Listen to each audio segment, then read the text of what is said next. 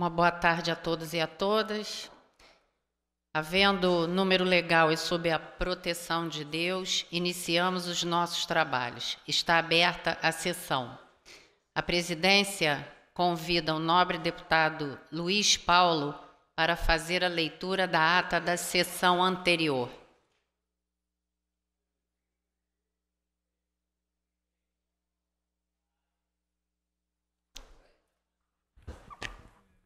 Senhora Presidente, deputada Célia Jordão, a ata reflete com exatidão o ocorrido na 80 sessão extraordinária, que iniciada às 17 horas e 50 minutos, encerrou-se às 18 horas e 42 minutos. Lida e aprovada a ata, passa-se ao expediente inicial. Está inscrito para falar no expediente inicial o nobre deputado Luiz Paulo. Vossa Excelência dispõe de dez minutos regimentais.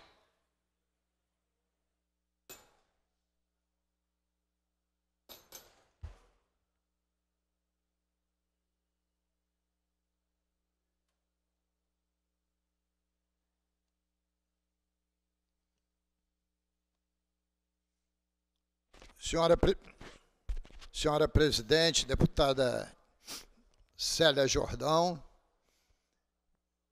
senhoras e senhores presentes em plenário ou que nos assistem de forma remota, já que as reuniões são híbridas, senhoras e senhores telespectadores, cavaleiro, que hoje faz aqui a interpretação da linguagem de Libras, que leva a nossa voz aos deficientes auditivos. Senhora Presidente, hoje, 15 de junho, é o Dia Mundial de Combate à Violência contra o Idoso. Dia Mundial de Combate à Violência contra o Idoso. Então, nesse sentido, eu queria fazer aqui alguns destaques. Primeiro, é muito comum haver pagamento incorreto de aposentadorias e pensões dos nossos funcionários públicos estaduais. E aí eu pergunto: isso também não seria uma forma de violência? Você muitas vezes pagar menor de alguém que precisava daquele dinheiro naquele tamanho para sobreviver. Isto é uma forma de violência. Então, para minimizar esta forma de violência contra o idoso, que são os inativos e pensionistas, Estou apresentando nesta quarta-feira, senhora presidente, dando entrada aqui no nosso protocolo, projeto de lei determinando que o Estado automaticamente atualize as aposentadorias e pensões com direito à paridade. Traduzindo, senhora presidente, que, nesse caso, o Rio Previdência tome a iniciativa de comunicar individualmente aos beneficiários sempre que essa atualização automática não for possível. Então, senhora presidente, teve um determinado plano de cargos salários para os ativos, que repercute nos inativos. Essa correção deveria ser automática. Mas tem casos que o Rio Previdência vai ter dúvidas. Então não tem que ficar aguardando ser procurado. Ele tem que comunicar individualmente que as pessoas né, tomem ciência que precisa fazer uma atualização XYZ e que essa atualização automática não foi possível de ser executada. Então, essa é a primeira questão.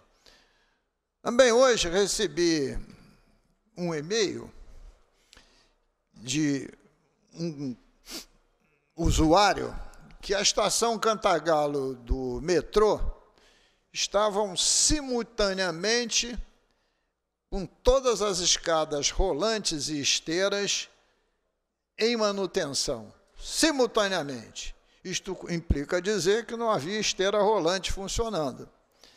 E esse tipo de situação se repete em outras estações, sendo que em algumas estações da supervia nem rampa tem, senhora presidente, é só escada. Isso também é uma forma de desrespeito e violência à pessoa idosa. Sem falar no desrespeito ao deficiente, né? aqueles que têm é, uma acessibilidade é, reduzida. Né? E, e, finalmente, senhora presidente, um tema que eu venho repetindo, né? vou colocar isso também na ordem do dia.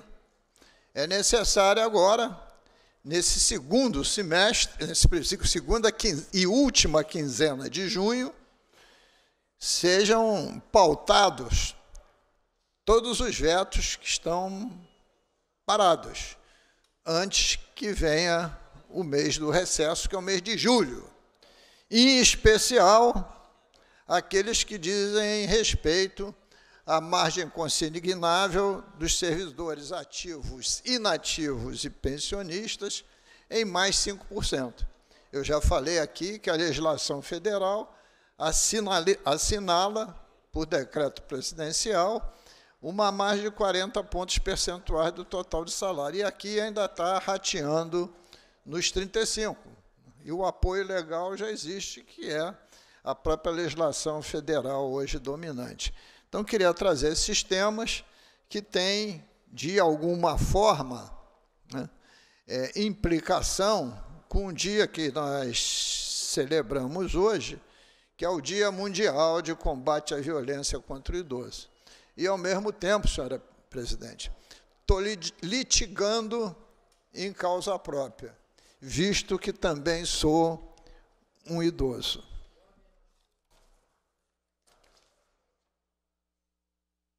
Próximo orador inscrito, o nobre deputado Renan Ferreirinha. Vossa Excelência dispõe dos 10 minutos regimentais.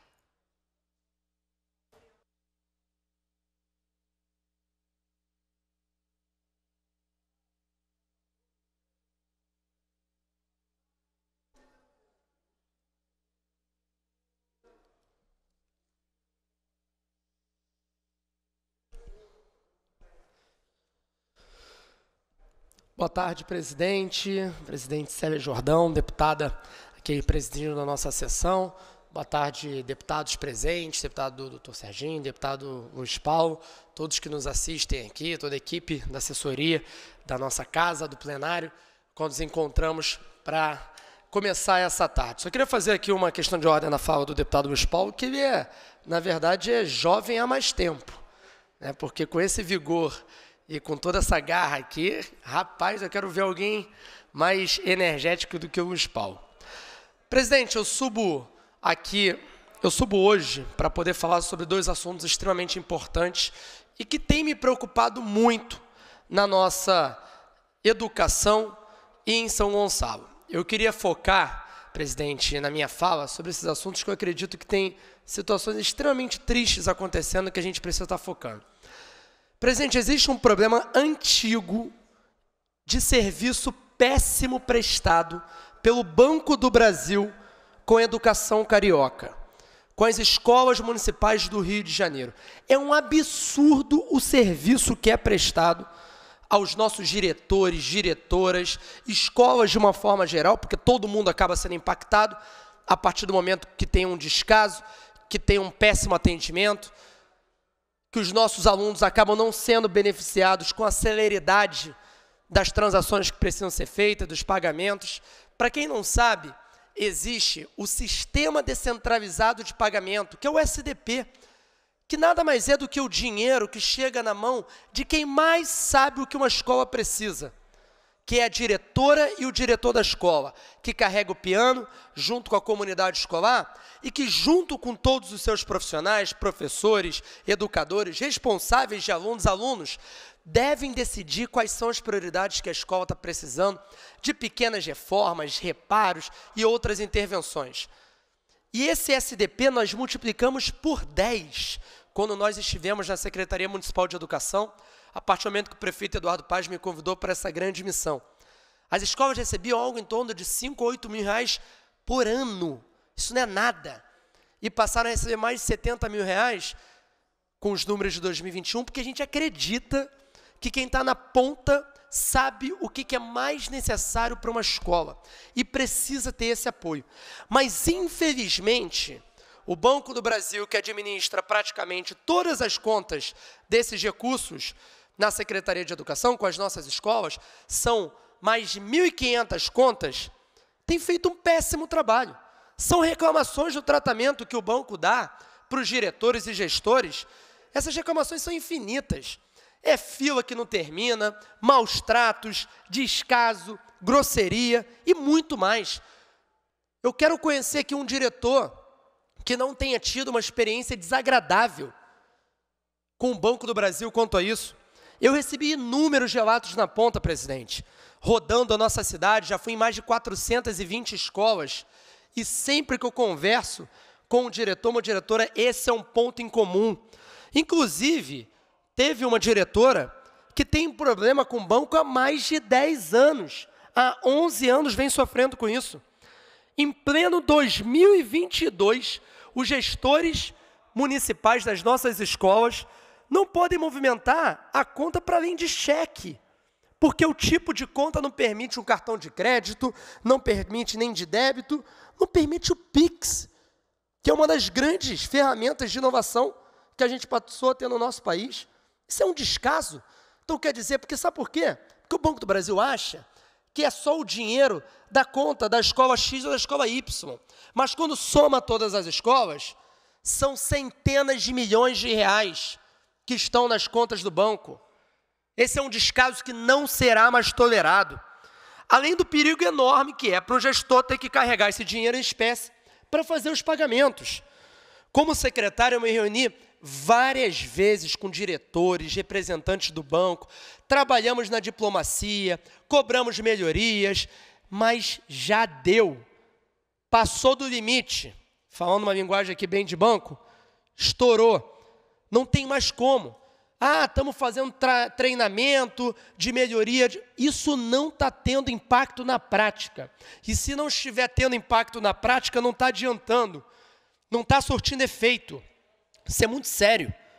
Acabou a paciência e eu vou correr atrás das providências que forem necessárias. Eu vou falar com a Secretaria Municipal de Fazenda para que verifique a possibilidade de multar o Banco do Brasil pelo descumprimento do contrato por causa dos péssimos serviços prestados à rede municipal de educação. E se isso não for suficiente, infelizmente, medidas legais também serão necessárias. Mas não dá mais para que, para que a diretora, o diretor de uma rede tão grande como a nossa, de escolas tão importantes como as do Rio de Janeiro, passem por isso. Então, esse é o primeiro ponto, presidente, que eu queria falar hoje, aqui no nosso expediente inicial. Uma outra questão que também tem me chamado muita atenção e eu não poderia deixar de comentar, presidente, é um absurdo o que vem acontecendo com a saúde de São Gonçalo. Eu, como gonçalense, venho acompanhando isso de perto e é com muita, é com muito desgosto que a gente viu o que aconteceu na maternidade pública de São Gonçalo, que aquilo não pode ser chamado de uma maternidade ou de um hospital, com os serviços que estão sendo prestados. A unidade de referência de atendimento a gestantes do município, a Mário Niajá, funciona sem nenhuma estrutura uma estrutura péssima. Vejam só, entre fevereiro e abril, 39 fetos morreram na unidade. Esse número é um absurdo. Isso não pode ser considerado normal. É muito importante que os responsáveis pela administração da saúde do município de São Gonçalo entendam a gravidade disso. Eu tenho acompanhado de perto o trabalho da Frente Parlamentar de Combate à Violência Obstétrica e Mortalidade Materna aqui na LERJ, a qual eu entrei recentemente, e eu tenho visto o descaso que tem acontecido nessa maternidade na unidade de saúde gonçalense. Faltam profissionais. Na ocasião da visita da frente, existia uma enfermeira obstétrica responsável por 13 leitos. 13 leitos. Como que isso é possível? Como que vai dar conta com isso? Como essa profissional, por melhor que seja, vai dar conta de cuidar de 13 leitos ao mesmo tempo? Faltam camas para parto, falta equipamento, falta ambulância, falta tudo. Os leitos do centro obstétrico não são camas para parto. Isso faz com que as gestantes sejam transferidas para a sala de parto no momento crítico, já em estágio avançado do processo, em cadeira de rodas ou andando, no momento de extrema vulnerabilidade. A Mário Niajá também não conta com ambulância, segundo os funcionários. Uma das, uma das médicas da unidade, um dos funcionários da unidade, relatou que acompanhou a pé uma paciente do pré-natal de alto risco, de um posto de saúde perto, até a maternidade, porque não havia uma ambulância para buscá-la. Isso é um descaso total. Isso não pode ser chamado de uma unidade de saúde, isso é um abatedouro. Isso é muito sério o que a gente está vendo. Isso não vai ficar dessa forma que nós vamos atrás de providências. Vamos cobrar, vamos pressionar, o mandato está à disposição para isso. O meu repúdio completo e preocupação com essa situação, presidente, que é uma violência acontecendo com todas as mulheres que precisam do serviço e são tratados de maneira desumana, no momento de tanta vulnerabilidade e necessidade. Nós vamos denunciar e cobrar as explicações necessárias. Isso é uma covardia imensa. Porque quem tem dinheiro vai para o particular. E quem não tem é condenado a ser cuidado em hospitais com péssima estrutura, como o de São Gonçalo. E para completar, se não fossem os heróis da saúde, os profissionais que dão o sangue, o suor, a situação estaria muito pior. Os profissionais de saúde estão desamparados, sobrecarregados, ganhando mal em São Gonçalo. E não é por falta de dinheiro, não. São Gonçalo é recordista do tal do orçamento secreto e recebeu uma bolada do dinheiro da SEDAI. O que falta é vontade política para fazer acontecer. Obrigado, presidente. Próximo orador inscrito, nobre deputado, doutor Serginho.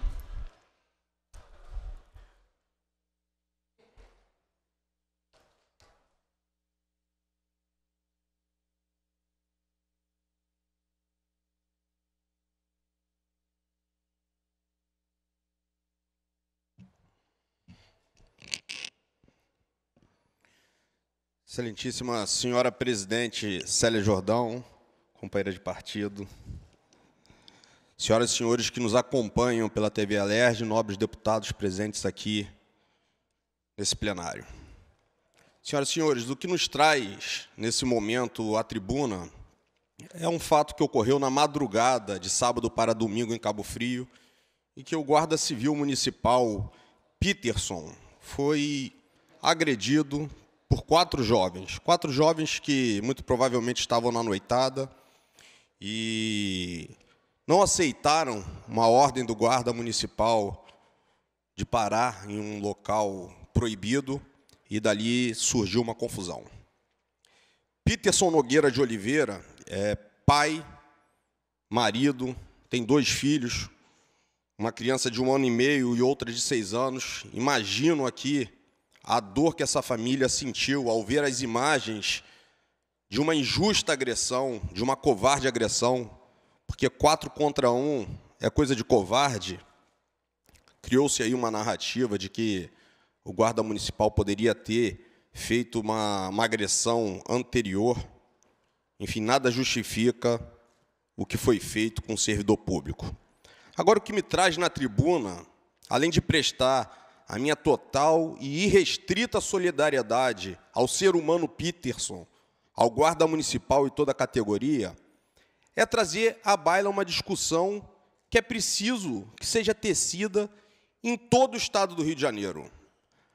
As guardas civis municipais querem os representantes dos poderes executivos municipais ou não, são órgãos efetivamente de segurança pública.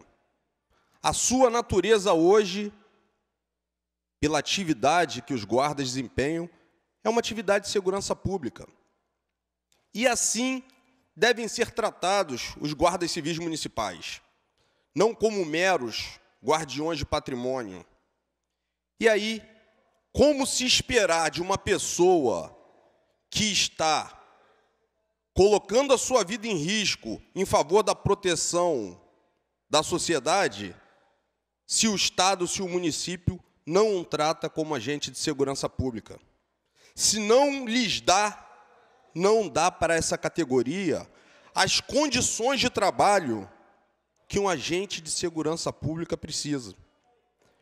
Estou tecendo esses comentários para todo o Estado do Rio de Janeiro, porque é preciso que a gente, de uma maneira imediata, reconheça não só nas legislações estaduais, municipais e federais estes homens e mulheres como agentes de segurança pública, mas, sobretudo, por conta da atividade que praticam. Peterson poderia ter tido um fim na madrugada de domingo muito pior do que teve. Foi humilhado, covardemente, Agora, como se esperar que os nossos guardas prestem um bom serviço de segurança pública se não lhes dão condição para tanto? E aí cito o exemplo da cidade de Cabo Frio. Desde 2015, os guardas sequer recebem seus uniformes do poder público, financiam os seus uniformes, seu fardamento, com seus parcos recursos, com seu salário, que hoje infelizmente é defasado. Por que não equipar efetivamente a guarda como órgão de segurança pública? Por que não lhes ofertar aquilo que o Estado precisa para que nós tenhamos uma cidade, um Estado mais tranquilo? A guarda tem que estar armada, a guarda tem que estar bem treinada, a guarda tem que estar bem equipada. Seus carros, seus automóveis, suas motocicletas estão sucateadas estão sucateadas porque não se trata a guarda dentro de um conceito de agente de segurança público. Tivesse Peterson ali naquele momento, com sua dupla, armado ostensivamente, sequer teríamos a confusão. Tu sabe por quê? Porque o covarde foge da arma. A arma é um instrumento de proteção da sociedade como todo e um instrumento de proteção do próprio, guarda, do próprio guarda municipal. Se o Peterson tivesse naquele momento armado e bem treinado, sequer teria confusão, porque os covardes não se aproximariam dele para tentar agredi-lo. Então é preciso que a gente dê um basta, de uma vez por todas, com a hipocrisia que reina em torno de administrações públicas municipais e a gente o devido respeito a esses agentes de segurança que dão a sua vida por nossa segurança, por nossa tranquilidade. Peterson faz um plantão de 24 horas por dia. Naquele dia, começou a trabalhar às seis da manhã. E na madrugada do sábado para domingo, cansado, indo desempenhar o seu papel, por não ter condições de trabalho, tem que suportar uma injusta e grave lesão. A sua saúde, a sua incolumidade a sua honra. Então é preciso que a gente mude esse conceito. Se a gente fortalecer a Guarda Civil Municipal, nós teremos uma cidade urbana muito mais tranquila, um comércio mais tranquilo, porque a Polícia Militar poderá seu, desempenhar o seu papel de combate à criminalidade em outros locais que não os centros comerciais. Nós fortalecemos o turismo ao fortalecermos a guarda, porque a ostensividade de uma guarda bem equipada gera a sensação de segurança em toda a cidade. E não esse desrespeito institucional contra esses excelentes agentes de segurança público que leva a casos como esse, de pessoas confrontá-los porque eles não têm as condições de exercer o papel principal e preponderante que podem nesse momento, que é resguardar a incolumidade e a segurança pública da cidade. Minha solidariedade irrestrita ao guarda municipal Peterson e à sua família, e nesse momento quero estender aqui o meu afetuoso abraço e solidariedade a toda a categoria de guardas civis municipais do Estado do Rio de Janeiro. Eu, enquanto deputado estadual, tomei a iniciativa de oficiar ao chefe da Polícia Civil para que ele comunique a todos os delegados do Estado do Rio de Janeiro para que guarda nenhum seja preso em flagrante por estar portando a sua arma, porque isso já decorre de uma decisão do STF. Agora, mais do que isso, é preciso que a gente institucionalize de uma vez por todas a Guarda Civil Municipal como órgão de segurança pública para a gente melhorar as condições da vida da sociedade do Estado do Rio de Janeiro. Deus abençoe Peterson, sua família e toda a Guarda Municipal de Cabo Frio do Estado do Rio de Janeiro.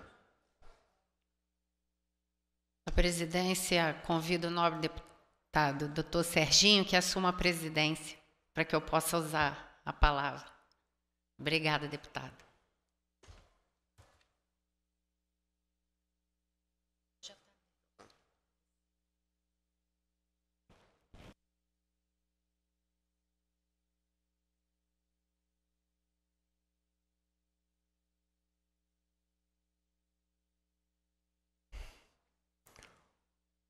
Convido a nobre deputada Célia Jordão a fazer uso da palavra. Vossa Excelência tem dez minutos regimentais.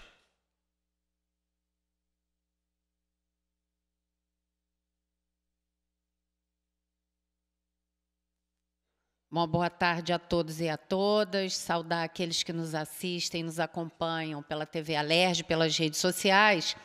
Eu não poderia deixar de vir a essa tribuna no expediente inicial para falar do dia de hoje, uma vez que fui secretária de assistência social do meu município, em Angra dos Reis, por nove anos. E hoje é o Dia Mundial da Conscientização da violência contra a pessoa idosa. Aqui, o nobre deputado Luiz Paulo, que me antecedeu, também fez menção a esse dia, lembrando especialmente da questão previdenciária, não é? dos servidores públicos, mas também não podemos deixar de falar dos descasos, dos maus, dos maus tratos, do abandono, da violência intrafamiliar que é perpetrada, não é? Contra esses, essas pessoas que tanto já contribuíram para a sociedade e para as suas famílias. A data, não é que foi oficialmente reconhecida pela Assembleia Geral das Nações Unidas em 2011 ela representa um momento em que o mundo inteiro manifesta a sua oposição aos abusos e sofrimentos infligidos a nossas gerações mais velhas. A violência contra o idoso ela pode ser definida como um ato único repetido ou a falta de ação apropriada ocorrendo em qualquer relacionamento em que exista uma expectativa de confiança que cause dano ou sofrimento a uma pessoa idosa. É uma questão social muito séria, global, que afeta a saúde e os direitos humanos de milhões de idosos em todo o mundo e que merece atenção da comunidade internacional.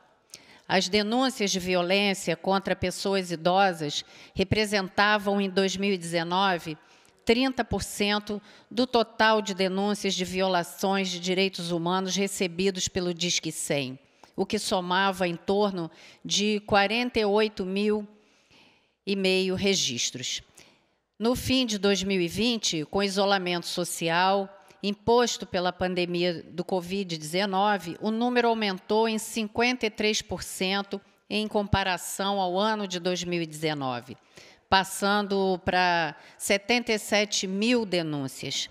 No primeiro semestre de 2021, o Disque 100 já registrava mais de 33.600 casos de violações de direitos humanos contra o idoso no Brasil.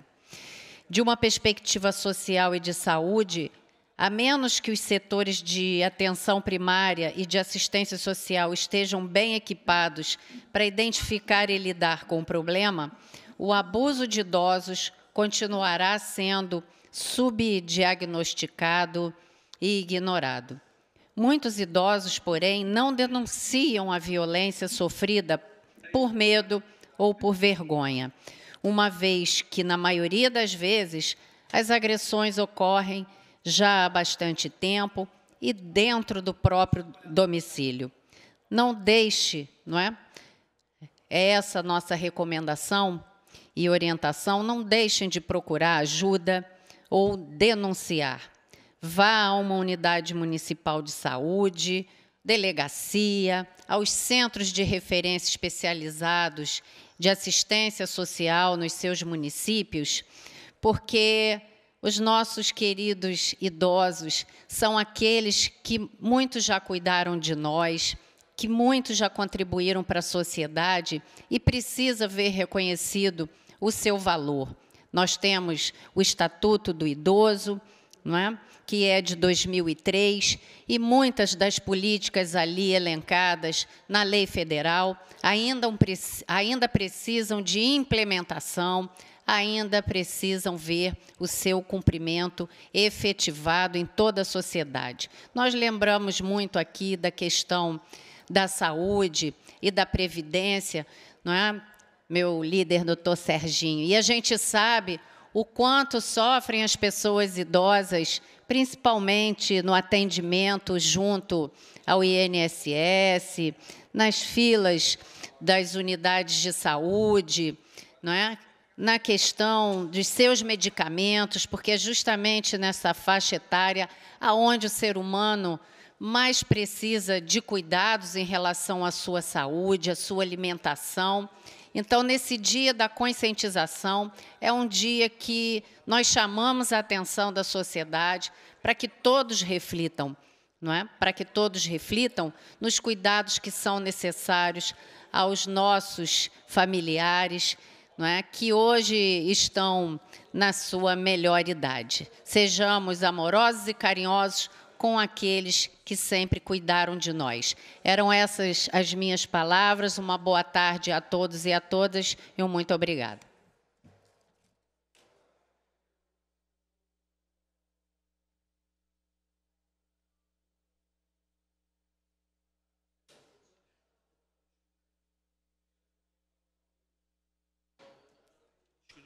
Não havendo mais orador inscrito, a presidente suspende os trabalhos até a ordem do dia às 15 horas.